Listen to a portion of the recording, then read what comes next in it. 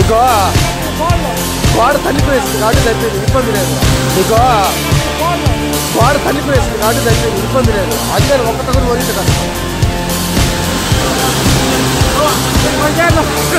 కూడా